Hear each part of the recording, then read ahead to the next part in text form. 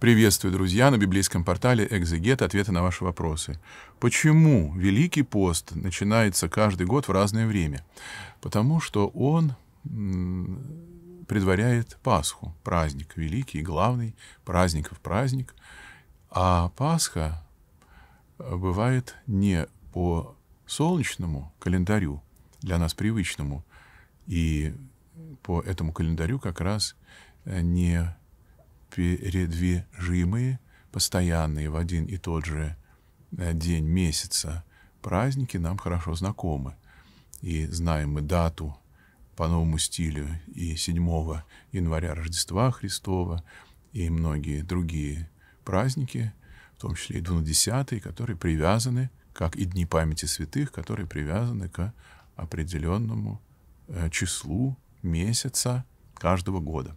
Но время празднования Пасхи по святоотеческому утверждению определяется в связи с лунным календарем, а не солнечным.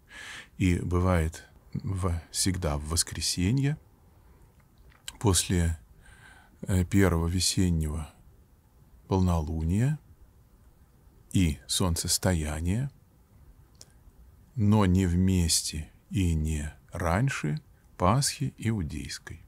Вот такая формула э, требует э, по календарю для нас привычному, обыденному передвижений.